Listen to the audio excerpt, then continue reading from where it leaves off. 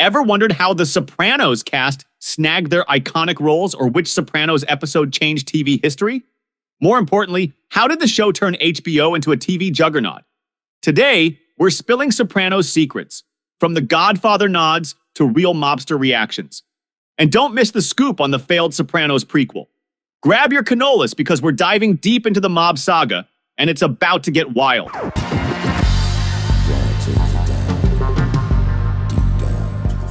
David Chase's dreams were bigger than Tony Soprano's ambitions. He wanted in the cool Wise Guys Club with Scorsese and Coppola. But TV soap operas had him scripting doctors and detectives. Earned stripes, but craved more. What are you gonna do? Go Henry Hill on me now? Fast forward, mid 90s, Chase drops a bomb. Mobster therapy, mom plots murder. Crazy, right? My idea is Saw meets Godfather 2. Pitched it as a series, hoping for a pilot budget, a full season? Forget about it. Plan, bag TV cash, hustle for more. Boom, The Sopranos in the making. Meet Tony, midlife mob boss with drama. Soprano surname jacked from Chase's classmate. Mama Soprano, Chase's real life mom inspired troublemaker. Dr. Melfi, therapist. Chase's own shrink, keeping it in the therapy family. Look, it's impossible for me to talk to a psychiatrist. Interestingly, the Sopranos creators had to slap a gun onto their logo because HBO got nervous that folks might mistake the show for a musical. Oh. And believe it or not, the confusion wasn't far fetched. Jamie Lynn Sigler, the actress behind Meadow Soprano, strutted into her audition thinking she was belting out tunes, not diving into mob drama. Chase's script wowed, but no takers. Why? Audience won't get it. Enter Chris Albrecht, HBO rebel, risk lover, like Davey Scatino, but rational. HBO ditched the norm, bet on quality, not mass appeal. While others played safe, HBO gambled on a mature audience. And here we go The Sopranos hit the screens, proving that sometimes breaking the mold is the secret sauce to TV gold. Picking actors like a seasoned capo picking his crew, Chase brought in heavy hitters from gangster classics. Dominic Chianese, Michael Imperioli, Vincent Pastore, and Tony Lip were all in. And get this Tony Sirico, the guy playing Paulie Walnuts, he was a real life ex Colombo family associate, doing time before stealing the show. then he threw in Steve Van Zandt, not an actor, but a rock star guitarist from Springsteen's band, as Silvio Dante, who keeps repeating Michael Corleone's iconic line from The Godfather 3. When I thought I was out, they pulled me back in. But the crown jewel was James Gandolfini. Interestingly, the man who would become the iconic face of The Sopranos landed his gig because of a Tarantino flick. Casting director Susan Fitzgerald caught wind of Gandolfini's talents after seeing a snippet of his brilliance in True Romance. And just like that, Tony Soprano walked into our lives because of a Tarantino powered audition. Oh! Interestingly, before James Gandolfini snagged the iconic role of Tony Soprano, David Chase had his eyes set on Van Zandt. Chase was convinced that Van Zandt's humor and intensity were tailor made for the role of Tony. So Chase went all in, even getting the musician an audition. HBO, however, slammed the door, thinking an inexperienced actor couldn't handle The Sopranos. I'm losing my balls over here! Yet, Chase wasn't ready to bid farewell to Van Zant. Oh no, he crafted the character of Silvio Dante with the musician in mind, bringing him into the soprano world in a role that fit like a custom made suit. Just when I thought I was out, they pulled me back in. Surprisingly, Michael Rispoli almost got the part of Tony Soprano. Rispoli spilled the beans on his close call with the role of Tony. Imagine the tension in the air as feedback ping ponged between him and Gandolfini. Who was the favorite? The suspense was killing everyone involved, especially Rispoli's manager, who probably aged a few years during the process. in the end, Gandolfini snagged the role. Rispoli became Jackie Aprile in the first season. Twist of fate? Absolutely. Remember, Tony almost had a different face, but hey, we got Rispoli as Jackie. Did you know how Vincent Curatola got the part of Johnny Sack in The Sopranos? Speak. Before the show, Curatola only had two minor acting credits prior to The Sopranos. To acting Curatola came from a very unlikely profession construction. Perhaps the notion doesn't strike you as surprising, considering the Soprano and New York family's intricate ties to construction within the show. When he was always talking about greasing the union, who knew that's what he meant? Nevertheless, it's worth noting that Curatola had just embarked on his acting journey shortly before clinching the role of Johnny Sack. Yet the auditions weren't smooth. Initially uninterested, the actor often arrived late. The competition was fierce, and doubt lingered if he could contend with seasoned actors. Luckily, his unconventional approach stood out. While others yelled Sack's lines, Curatola delivered them with cool composure. Sure you want to go down this road, Tony? What finally sealed the deal? His unique cigarette smoking style caught the producer's attention, securing him the role in this thing of ours. So now we just go back about our business at the Esplanade like it never happened? There's a pivotal moment in The Sopranos that nearly didn't make the cut. Albrecht, the bigwig, had doubts about Tony Soprano going all vigilante in the fifth episode of the first season. Tony sniffs out a snitch and takes matters into his own hands.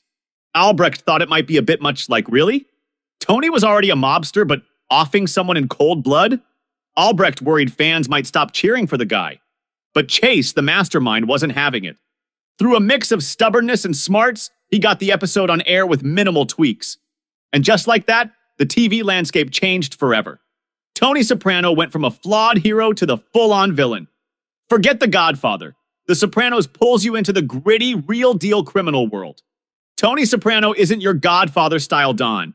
He's a mediator, juggling family drama and turf wars. And let's be real, not everyone in his crew is sending him Father's Day cards. Oh, shut up! Why? Shut up!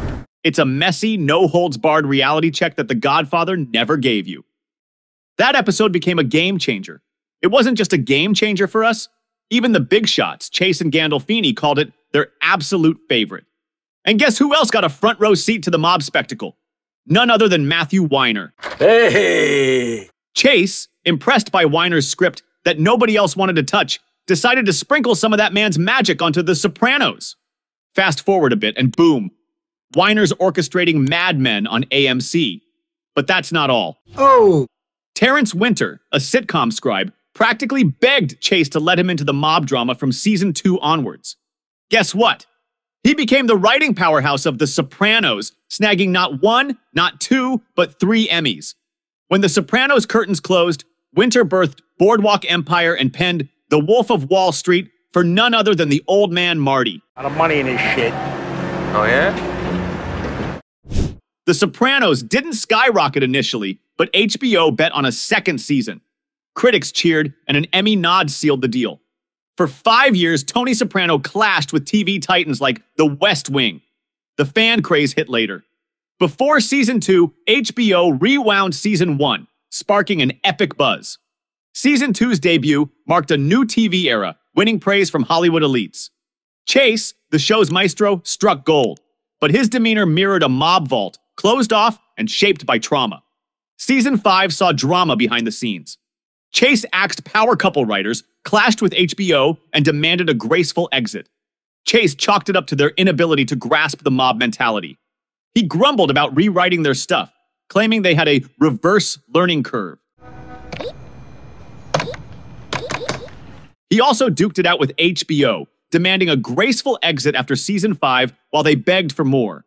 Production hiccups aside, The Sopranos stayed grounded, evolving characters and sharpening dialogue. You gotta be on your at. Reality fused with nightmare and comedy, sprinkled with pop culture nods, like Tony buying orange juice. A nod to The Godfather's iconic scene. Since we're on the topic of The Godfather references, here are a few more examples. In the Fun House episode, Tony's grappling with the idea that his pal Sal might be a rat. Cue fever dreams in a boardwalk stroll, Silvio pops up, dropping a line straight out of The Godfather 3. Bonus! Silvio's rocking the same style as Pacino in the flick. Fast forward to season 5's kickoff, two Tonys. Tony and Carmela are officially on a break, and the season kicks off with a rundown of the Sopranos' home, leaves everywhere a neglected grill and a ghost town patio. The once pristine house now screams, Family in shambles! And guess what? It's a nod to The Godfather 3 when Michael Corleone faces the fallout of his own failed family ties. Now, rewind to season 1, episode 3 Denial, Anger, Acceptance. Meadows belting out a solo at her high school choir concert. Tony and Carmela, proud parents, soak it in. Tony's even dabbing at his eyes, tough guy moved by his daughter's voice. Coincidence? No. In The Godfather 3, Michael Corleone, the master of stone cold stares, breaks down while his son sings. That's when I thought I was out. They pulled me back in. The Sopranos doesn't just break legs, it breaks barriers too. Picture this. The series is so anti background music snobbery that it only plays tunes if there's an on screen source, like a car stereo or bar speakers. No emotional puppetry here. Even the characters are vibing to the beats.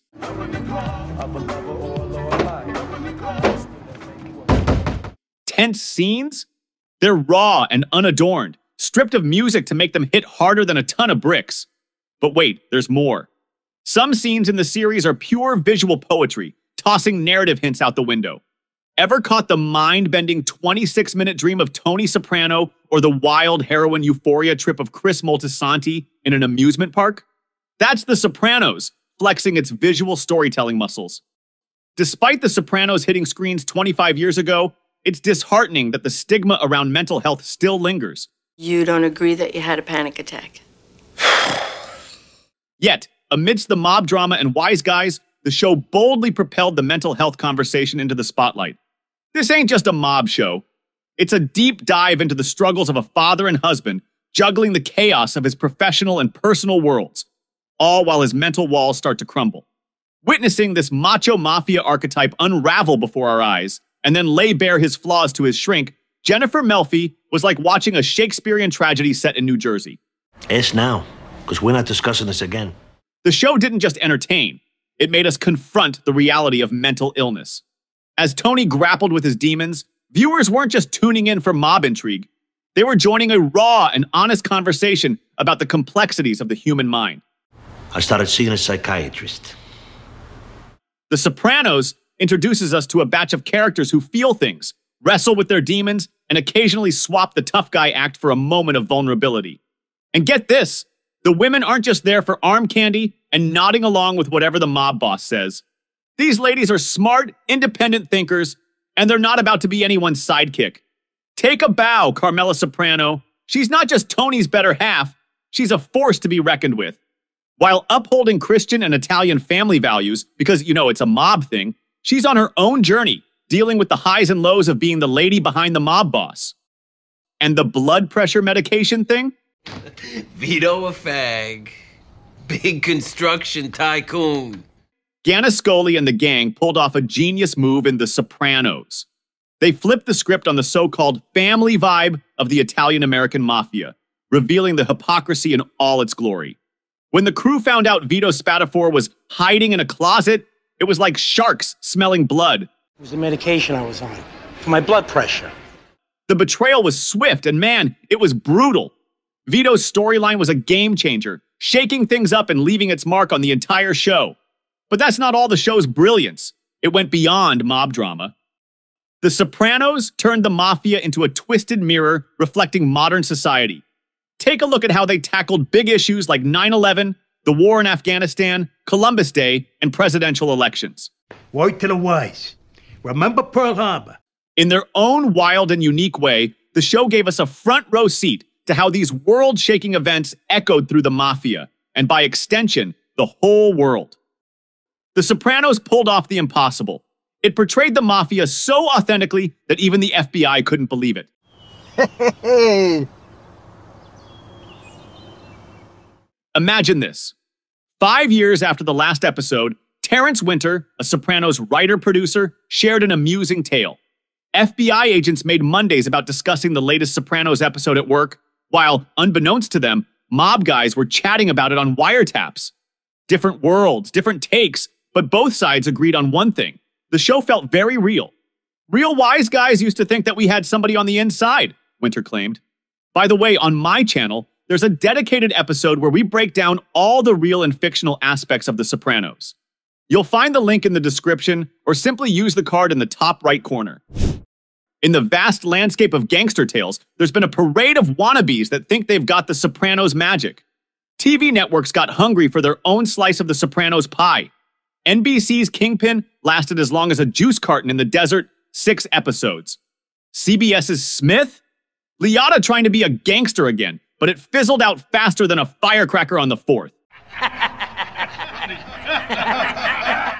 now let's talk about the shameless big screen ripoffs.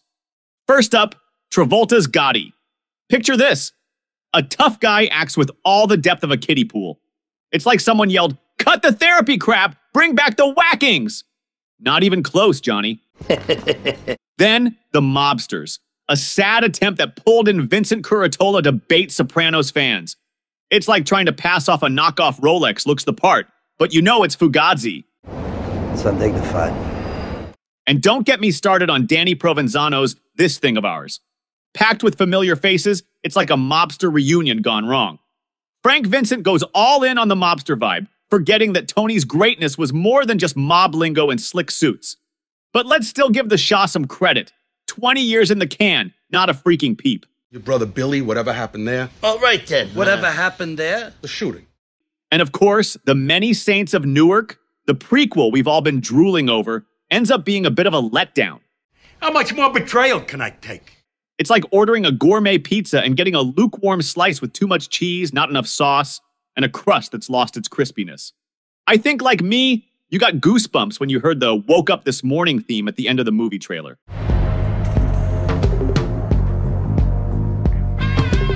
But unfortunately, it was just a foul on our feelings of nostalgia. The movie is nowhere near the OG series for a number of good reasons. First off, the timeline's playing hopscotch, and it's hard to keep track. You'll feel like you need a mobster map just to figure out who's doing what when. The plot? Lackluster at best. It's like expecting a grand opera and getting a karaoke night instead, not quite hitting the high notes we were hoping for. And oh, the characters. We were ready for a deep dive into their souls, but it's more like a kiddie pool exploration. Missed opportunities left and right. Where do you get these fucking idiots, huh? Where do you get them? The film's take on mob justice feels like it stumbled into the wrong party, forgetting the carefully crafted code we loved from the OG series. They tried to serve up a feast for us Sopranos lovers, but what we got was a lukewarm dish that left us craving the real deal. Gabagool. Over here. However, as the saying goes, every cloud has a silver lining. Not all the Sopranos wannabes are bad. For example, crafted by the Sopranos' Quasimodo Steve Schirripa, Nicky Deuce brings mob mischief to a younger audience. Following suburban teen Nicky's amusing stint in Brooklyn, the film surprises with kid friendly crime scenes, a Goodfellas touch minus the R rating. Shifting from family drama, the plot revolves around a four legged friend with intentional nods to the OG series. The real showstopper is the star studded cast, boasting Sopranos legends like James Gandolfini, Michael Imperioli, Tony Sirico, and Vincent Curatola. The same goes for an Aussie director, Andrew Dominik. In Killing Them Softly, post 9 11 America faces a recession altered mafia landscape, mirroring Tarantino and Boyle's styles. Starring Brad Pitt as Hitman Jackie, the plot revolves around a poker heist gone awry, implicating mobster Markie Trattman, played by Ray Liotta. With echoes of The Sopranos, the film features James Gandolfini, Vincent Curatola, and the criminal mastermind Max Casella. Oh, yeah? Yeah. No ass, no more booze, no nothing. Beyond a typical crime drama, the movie unveils a gritty reality of forgotten American cities, tackling unemployment, addiction, and violence. No clear protagonists intensify the raw atmosphere, making it an unapologetic portrayal of a society pushed to extremes. I don't take orders from shits like you. And that, my Sopranos comrades, is how David Chase left the TV landscape shook. He might not have snagged an auteur cinema crown, but oh boy, did he birth a cultural beast with his TV masterpiece. By 2007, The Sopranos wasn't just a show, it was a cultural mic drop. Chase's finale wasn't your run of the mill farewell, it was a maestro settling scores with the mass audience after three decades of TV magic. That seemingly innocent diner scene in the finale? Scholars and fans all over the world have turned it into a national pastime. Frame by frame, dissecting every wink, nod, and onion ring. It's the show that keeps on giving, a gift to TV lovers that just keeps on giving like a mob drama that never truly sleeps. So here's to The Sopranos, the show that changed the game and left us craving for more, even after all these years. If you enjoyed this video, be sure to subscribe to Vano VHS and hit the like button. And if you want to show some love to Vano VHS, you can now buy us a coffee. Check out the link on your screens.